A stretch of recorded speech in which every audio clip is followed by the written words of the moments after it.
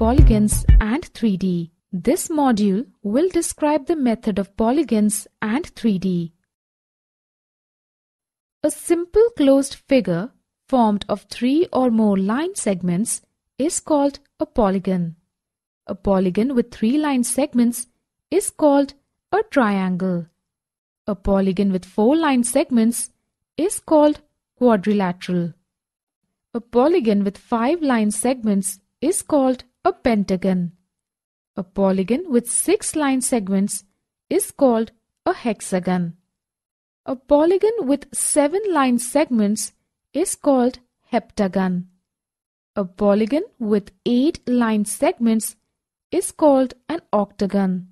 A polygon with nine line segments is called a nonagon.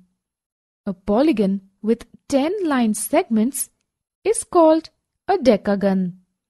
Sides, vertices and diagonals of a polygon. Sides.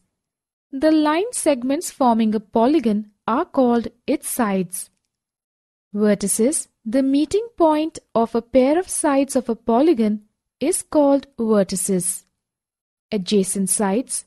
Any two sides of a polygon having a common endpoint are called its adjacent sides.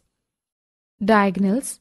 A line segment joining two non-adjacent vertices of a polygon is called its diagonal. A triangle has three sides, three angles and three vertices. A quadrilateral has four sides, four angles and four vertices.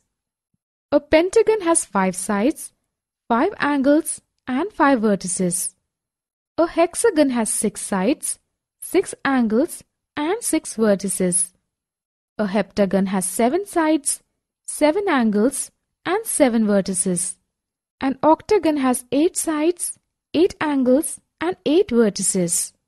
3D shapes 1.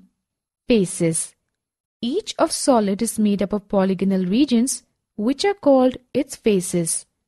2.